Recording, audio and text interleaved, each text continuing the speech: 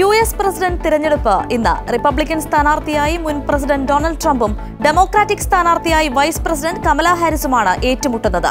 ചരിത്രത്തിലെ ഏറ്റവും ആവേശകരമായ പ്രചാരണ പോരാട്ടത്തിനാണ് അമേരിക്ക സാക്ഷിയായത്.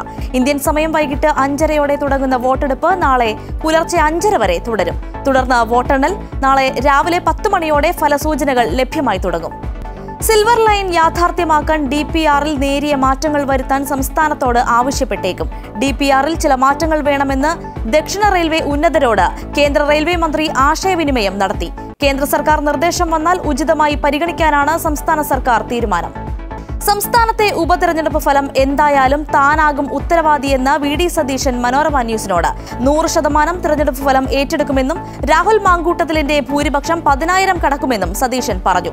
അതേസമയം സന്ദീപ് വാര്യരുമായി കോൺഗ്രസ് ചർച്ച നടത്തിയിട്ടില്ലെന്നും ആളത്തപ്പി നടക്കുന്ന പാർട്ടിയല്ല കോൺഗ്രസ് എന്നും വി ഡി സതീശൻ പ്രതികരിച്ചു. പറഞ്ഞല്ലോ രാഷ്ട്രീയമാണ് തെരഞ്ഞെടുപ്പാണ്.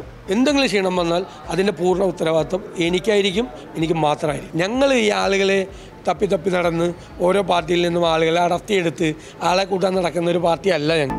എ ഡി എം നവീൻ ബാബുവിന്റെ ആത്മഹത്യയിൽ മുൻ കണ്ണൂർ ജില്ലാ പഞ്ചായത്ത് പ്രസിഡന്റ് പി പി ദിവ്യയ്ക്ക് ഇന്ന് നിർണായകം. ദിവ്യയുടെ ജാമ്യാപേക്ഷയിൽ തലശ്ശേരി ജില്ലാ സെഷൻസ് കോടതി വാദം കേൾക്കും. തെറ്റുപറ്റിയെന്ന് എ ഡി എം പറഞ്ഞെന്ന ജില്ലാ കളക്ടറുടെ മൊഴിയും ടി വി പ്രശാന്തിന്റെ മൊഴിയും മുൻനിർത്തിയാകും പ്രതിഭാഗത്തിന്റെ വാദം. ജാമ്യം നൽകുന്നതിനെ എതിർത്ത് നവീൻ ബാബുവിന്റെ കുടുംബവും കക്ഷി ചേരും. കൊടകര കള്ളപ്പണത്തെക്കുറിച്ച് തിരഞ്ഞെടുപ്പ് കമ്മീഷന് പോലീസ് കൈമാറിയ കത്ത് പുറത്ത്.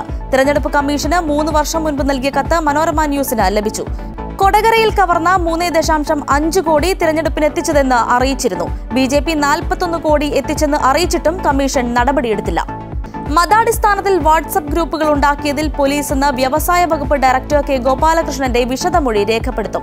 മൊബൈൽ ഫോൺ കസ്റ്റഡിയിലെടുത്ത് വിശദ പരിശോധനയ്ക്ക് അയക്കാനും തീരുമാനിച്ചു. ഇന്നലെ ഫോൺ കൈമാറാൻ പോലീസ് ആവശ്യപ്പെട്ടിരുന്നു. എന്നാൽ ചില സ്വകാര്യ വിവരങ്ങൾ മാറ്റിയ ശേഷം ഫോൺ കൈമാറാമെന്ന് ഗോപാലകൃഷ്ണൻ അറിയിച്ചു.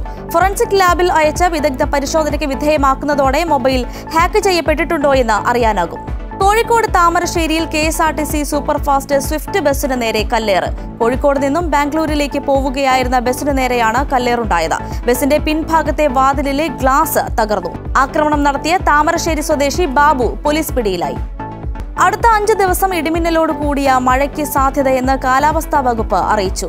തെക്ക് കിഴക്കൻ ബംഗാൾ ഉൾക്കടലിന് മുകളിലായി ചക്രവാത ചുഴിയും ന്യൂനമർദ്ദപ്പാത്തിയും സ്ഥിതി ചെയ്യുന്നതിനാലാണിത്. തെക്ക് കിഴക്കൻ അറബിക്കടലിലും ചക്രവാത ചുഴിയുണ്ട്.